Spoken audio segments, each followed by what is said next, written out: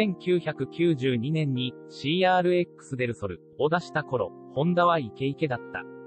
この車の特徴は、二人乗りで、格納式ハードトップを持つこと。スタイルはピュアなスポーツカーではなく、エレガントさに重点が置かれていた。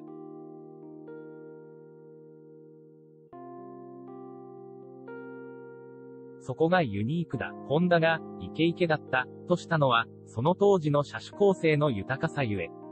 91年には、2シーターオープンの、ビート、と、グラマラスなスタイルの4代目、プレリュード、を発売している。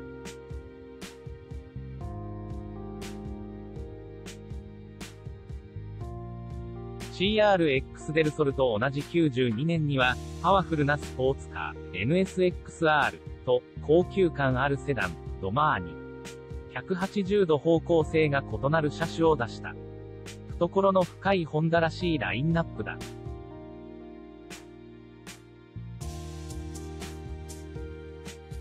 93年になると、スポーティーなクーペ、インテグラの2代目と、大型化して高級化した5代目、アコードを発売している。